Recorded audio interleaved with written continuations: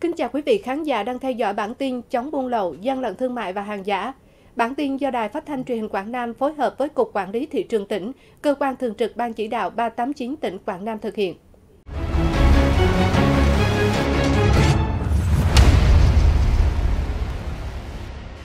Thưa quý vị, trong tháng 4 năm 2024, Cục Quản lý Thị trường Cơ quan Thường trực 389 tỉnh phối hợp cùng các lực lượng chức năng thanh tra kiểm tra, đã phát hiện bắt giữ 177 vụ việc vi phạm hành chính, đã xử lý vi phạm hành chính 159 vụ việc, thu nộp ngân sách nhà nước hơn 7,4 tỷ đồng, tiến hành khởi tố 36 vụ, 46 đối tượng. Sau đây là những vụ việc điển hình. Lúc 16 giờ ngày 1 tháng 4 năm 2024, đội quản lý thị trường số 4 tiến hành khám phương tiện vận tải đối với xe ô tô đầu kéo semi remote do ông DMH có địa chỉ ở Hanh Cù, huyện Thanh Ba, tỉnh Phú Thọ điều khiển, cũng là chủ sở hữu hàng hóa, phát hiện 230 bộ quần áo trẻ em gắn nhãn hiệu Christian Dior và 12 máy hút bụi modern ID828, 35 máy nước lạnh để bàn, 20 quạt điện, 30 máy sấy giày Sudeer, 7 ghế xoay Garmin, 9 đồng hồ treo tường, 1.700 bộ quần áo trẻ em các loại, 200 đầm trẻ em đều do Trung Quốc sản xuất chưa qua sử dụng. Chủ sở hữu không xuất trình được hóa đơn chứng từ liên quan. Trị giá hàng hóa vi phạm 72 triệu 720 ngàn đồng. Cục Quản lý Thị trường tỉnh Quảng Nam ban hành quyết định xử phạt vi phạm hành chính với số tiền 35 triệu đồng về hai hành vi buôn bán hàng hóa giả mạo nhãn hiệu và kinh doanh hàng hóa nhập lậu, tịch thu toàn bộ số hàng hóa và buộc tiêu hủy 230 bộ quần áo trẻ em các loại giả mạo nhãn hiệu Christian Dior.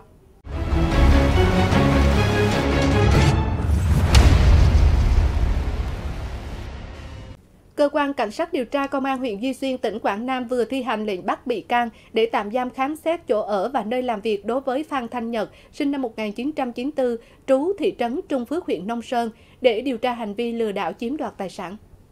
Theo điều tra tháng 6 năm 2022, Phan Thanh Nhật là giám đốc công ty trách nhiệm hữu hạn dịch vụ tư vấn Suplo đã lợi dụng việc khách hàng gửi giấy chứng nhận quyền sử dụng đất để nhờ làm các thủ tục đất đai. Nhật làm giả hợp đồng đặt cọc về việc chuyển nhượng quyền sử dụng đất với khách hàng, sau đó sử dụng hợp đồng giả này và đưa ra các thông tin gian dối khác để bị hại tin tưởng góp vốn mua đất. Sau khi nhận tiền, Nhật sử dụng vào mục đích cá nhân mà không dùng để mua đất như thỏa thuận, dẫn đến không có khả năng chi trả. Bằng thủ đoạn trên, Nhật đã chiếm đoạt của các bị hại số tiền 150 triệu đồng. Mở rộng điều tra vụ án đưa hối lộ, nhận hối lộ xảy ra tại Phòng Giáo dục và Đào tạo các huyện Tây Giang, Nam Giang, Bắc Trà My, tỉnh Quảng Nam. Ngày 11 tháng 4 năm 2024, Phòng Cảnh sát điều tra tội phạm về tham nhũng kinh tế buôn lậu môi trường Công an tỉnh Quảng Nam đã tống đạt các quyết định khởi tố bị can và thi hành lệnh bắt bị can để tạm giam đối với ba đối tượng nguyên trưởng phòng giáo dục và đào tạo để điều tra hành vi nhận hối lộ. Các bị can gồm Lê Kim Vân, nguyên trưởng phòng giáo dục huyện Tây Giang, Nguyễn Tấn Lộc, nguyên trưởng phòng giáo dục huyện Nam Giang và Nguyễn Thanh Tùng, nguyên trưởng phòng giáo dục huyện Bắc Trà My bị khởi tố về tội nhận hối lộ.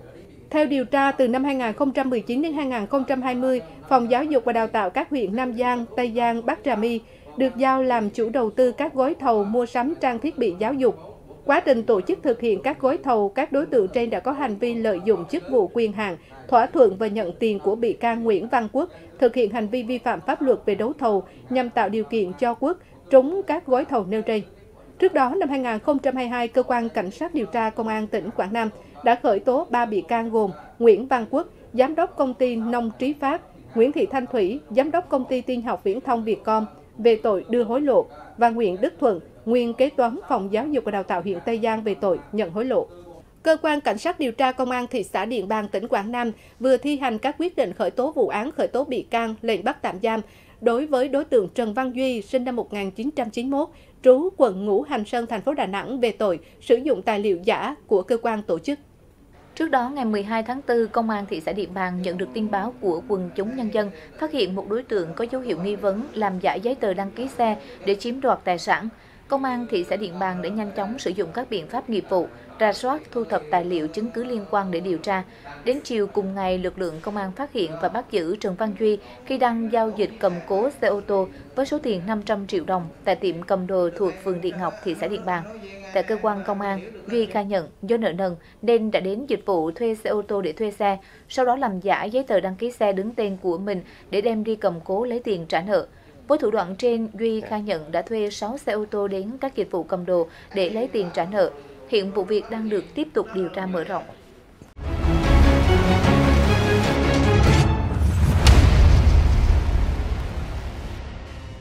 Công an thành phố Tam Kỳ, tỉnh Quảng Nam vừa kiểm tra phát hiện xử lý 8 nam nữ thanh niên sử dụng trái phép chất ma túy trong quán karaoke.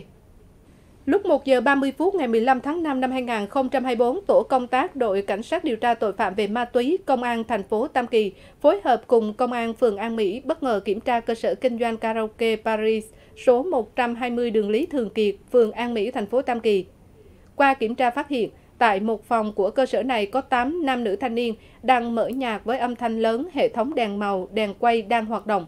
Tăng vật thu giữ tại phòng karaoke gồm một đĩa sứ, có chứa 0,74 gam ketamin, một thẻ căn cước công dân, một tờ tiền polymer, một túi ni lông bên trong có một gói chất rắn dạng tinh thể màu trắng được xác định là ma túy loại ketamin và một cục chất rắn màu xám được xác định là ma túy loại MDM.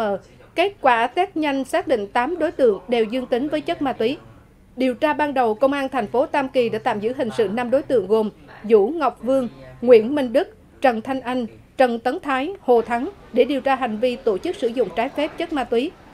Cơ quan Cảnh sát điều tra Công an huyện Núi Thành, tỉnh Quảng Nam vừa thi hành quyết định khởi tố bị can, lệnh bắt tạm giam đối với Nguyễn Đặng Hoài Trung, 34 tuổi, trú phường An Hải Bắc, quận Sơn Trà, thành phố Đà Nẵng, là giám đốc công ty trách nhiệm hữu hạn trục vớt Quang Thọ để điều tra về hành vi trốn thuế.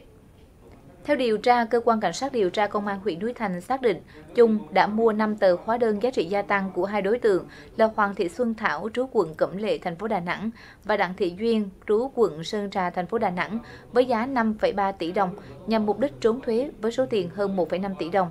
Cơ quan cảnh sát điều tra công an huyện Núi Thành cũng đã khởi tố bị can, cấm đi khỏi nơi cư trú đối với hai đối tượng này để điều tra hành vi mua bán trái phép hóa đơn. Tòa án Nhân dân tỉnh Quảng Nam đã mở phiên tòa xét xử 40 bị cáo liên quan đường dây tín dụng đen qua các ứng dụng trên mạng xã hội quy mô hơn 20.000 tỷ đồng. Đường dây này đã tổ chức cho hơn 1 triệu người trên toàn quốc vay thông qua ứng dụng trên điện thoại di động với lãi suất hơn 2.300% một năm. Số tiền cho vay lãi nặng lên đến hơn 20.000 tỷ đồng, thu lợi bất chính trên 8.000 tỷ đồng, tổ chức rửa tiền và chuyển tiền thu lợi bất chính trái phép ra khỏi Việt Nam với số tiền trên 5.000 tỷ đồng. Theo cáo trạng, từ năm 2018 đến nay, Lu Wan, Li Xiaohu, Wu Jianchao và nhiều đối tượng quốc tịch Trung Quốc khác đã đến Việt Nam để tổ chức hoạt động cho vay lãi nặng thông qua các ứng dụng trên điện thoại di động hoặc các đường link website do các đối tượng này tạo ra. Các đối tượng này đã thông qua đối tượng Nguyễn Chánh Thiên trực tiếp thuê nhiều người Việt Nam đứng tên thành lập các pháp nhân thương mại ảo, công ty ma, tuyển dụng nhân sự tổ chức hoạt động cho vay với lãi suất nặng các đối tượng sử dụng hàng nghìn tài khoản ngân hàng để luân chuyển dòng tiền qua lại nhằm mục đích rửa tiền qua bất động sản, chuyển tiền trái phép ra khỏi lãnh thổ Việt Nam. Qua hai ngày xét xử, Tòa án Nhân dân tỉnh Quảng Nam tuyên án bị cáo Lu Wan 21 tháng tù tội cho vay lãi nặng trong giao dịch dân sự và 11 năm tù tội rửa tiền. Bị cáo Wu Jianchao bị tuyên 15 tháng tù tội cho vay lãi nặng trong giao dịch dân sự và 10 năm tù tội rửa tiền. Bị cáo Li Xiaohu lệnh mức án 18 tháng tù tội cho vay lãi nặng trong giao dịch dân sự. Các bị cáo Nguyễn Chánh Thiên, Lý Sương Bành, Phạm Xuân Trường, Cao Văn Trung, Trần Văn Lượng bị tuyên 11, 12 tháng tù. Bị cáo Lý Ngọc Ngân 9 tháng tù về tội cho vay lãi nặng trong giao dịch dân sự. Đối với các bị cáo còn lại là nhân viên của công ty Ma, căn cứ hành vi phạm tội, hội đồng xét xử tuyên phạt từ 9 đến 18 tháng tù. Một bị cáo tuyên 9 tháng tù cho hưởng án treo. Thưa quý vị, đến đây bản tin chống buôn lậu, dân lận thương mại và hàng giả xin được khép lại. Mọi thông tin hãy liên hệ với chúng tôi qua đường dây nóng 0913 416 360. Đơn thư gửi về Phòng Thanh tra Pháp chế Cục Quản lý Thị trường tỉnh Quảng Nam, địa chỉ quốc lộ 1A, phường Hòa Thuận, thành phố Tam Kỳ, Quảng Nam. Quý vị có thể xem lại bản tin này trên website của Đài Phát thanh Truyền hình Quảng Nam tại địa chỉ www.qrt.vn. Xin trân trọng kính chào tạm biệt và hẹn gặp lại.